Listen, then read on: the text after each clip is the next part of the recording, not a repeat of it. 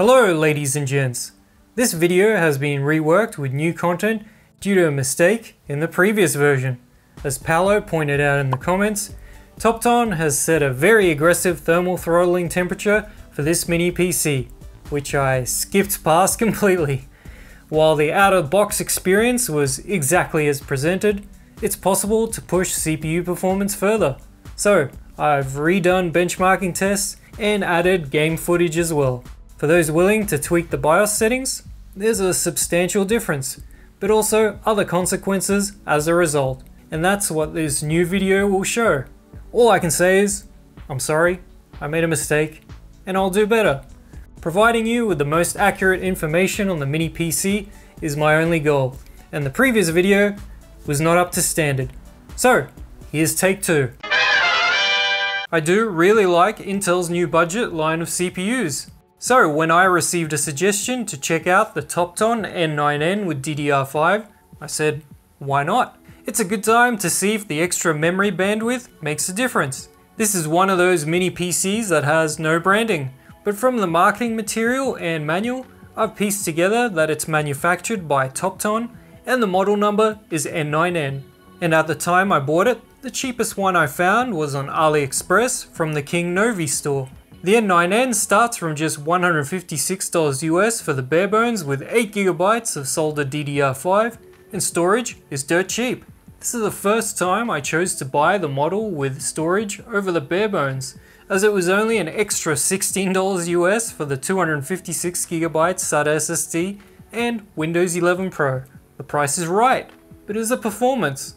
Well, it's complicated, but we'll get to it in a moment. In the box is a power supply, travel adapter, monitor mount, 2.5 inch SATA expansion ribbon cable, screws, and quick start guide. The Mini is made of plastic and looks nice. Build quality is fine. The port selection is impressively odd. Audio jack, triple USB 2 and one USB 3 5 gigabit on the front. There's a micro SD card reader on the side, HDMI 2 and DisplayPort on the back, along with dual gigabit LAN jacks. While I'm really happy to see DisplayPort for once, there's no USB-C, and three of the four USB ports being USB 2 is not good. I could accept two, since plenty use a wired mouse and keyboard, like myself, but three, nah. Opening the Topton N9N is pretty easy. Four exposed screws, and pop the lid with a knife or something else if you don't have a repair kit. This pre-build came with a Shiji 256GB M.2 SATA SSD, and you can mount an additional 2.5 inch SATA drive on the bottom and connect it here. The CMOS battery is on this side for easy replacement if and when it dies. Thumbs up! The very old Intel AC7265 Wi-Fi module from 2014 is soldered on. If you go bare bones or don't choose Windows 11 Pro as your OS, I'm happy to report Ubuntu worked fine straight off the USB. Chrome OS Flex failed to boot. The only other N100 CPU mini PC I've reviewed so far is the Morefine M9, which had great performance but used the DDR4 stick for memory and is 195 US dollars for the bare bones, although you do get much nicer features. The Beelink Mini S12 is another Alder Lake N mini PC with a cut down N95. Its performance wasn't great out of the box, but upping the power limit in the BIOS gave it a nice boost. These are important comparison points, as you'll soon see. The Topton had the lowest single core CPU performance out of the box for the new Alder Lake N chips. It's almost 6% behind the Morefine M9 with the same CPU. However, with some BIOS power limit tweaks, single core matches the M9. However, out of the box multi-core performance was 22% behind. With the power limit increased, the drop in performance narrows to just over 8%. In video encoding, the Topton was neck and neck with the Intel NUC Essential Pentium CPU, which is 21% behind the M9. With power limits lifted, it's 12% behind. 3D Mark results were unaffected by the power limit increase, so they won't be shown. The extra bandwidth from DDR5 has helped the Topton a little bit in 3D Mark DX11 fitting it in second place. It's almost 5% ahead of the Morefine M9. The same didn't happen in the DX12 benchmark. it was consistently just over 1% behind. So, CPU multi-core performance is gimped out of the box. Graphics performance is fine. So since CPU performance can go further, I decided to check out a few requested esports titles. Valorant pushes both the CPU and GPU. I didn't notice any difference between the Topton and the M9. Same dips in frame rate, but it is playable.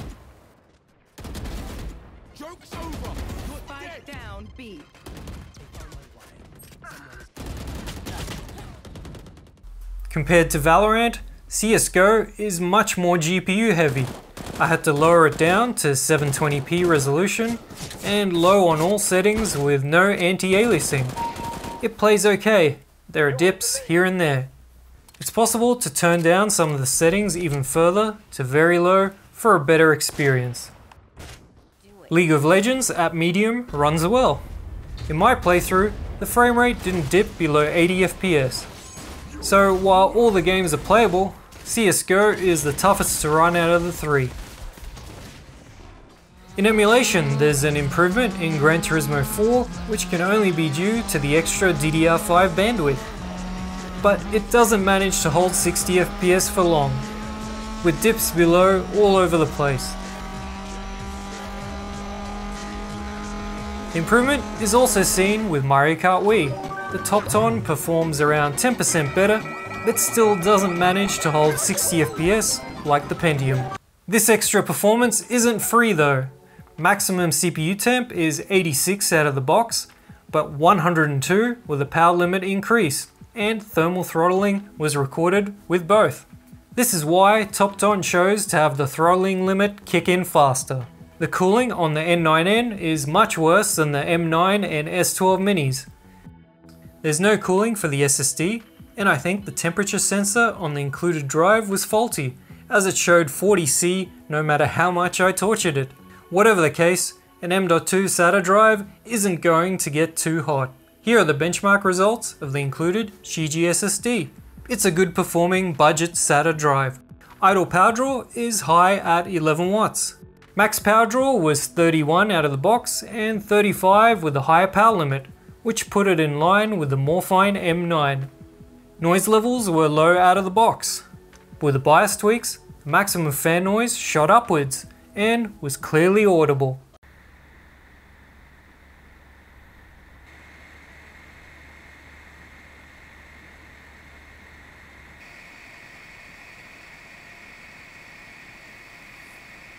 So, there's a trade-off with this mini PC. If you want better performance, you'll have to accept a much higher CPU temp and noise, which just shows how much better the cooling solution was on the Morefine M9. Costs have to be cut somewhere. I'll show you how to push performance further in the BIOS. In advanced, head to CPU configuration. For power limit 1, change it to 30 watts, and power limit 2 can be the same or higher.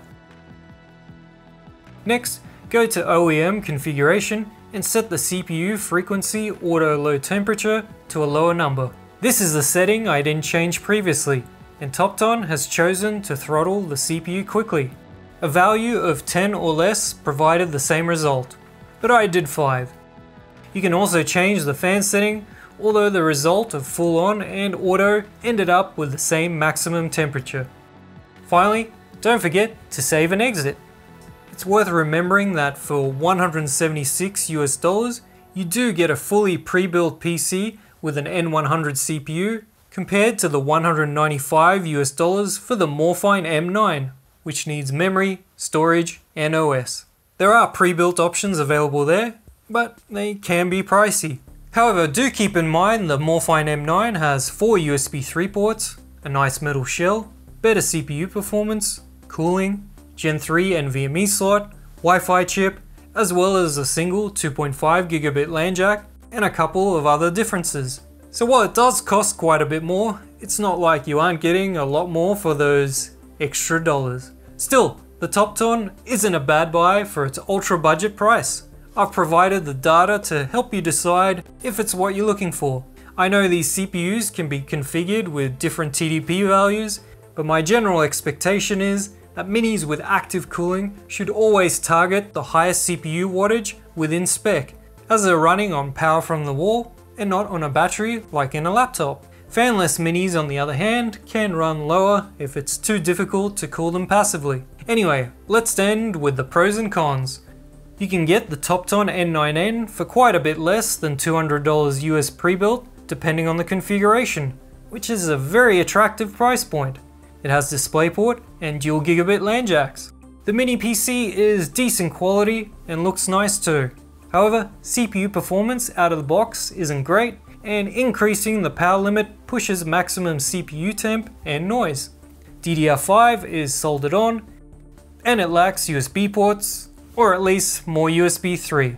Like I said, definitely not bad, but it has its problems. Are you interested in this one? Let me know in the comments. In the meantime, do check out my Beelink Mini S12 review for an N95 alternative. Thanks for watching. Cheers.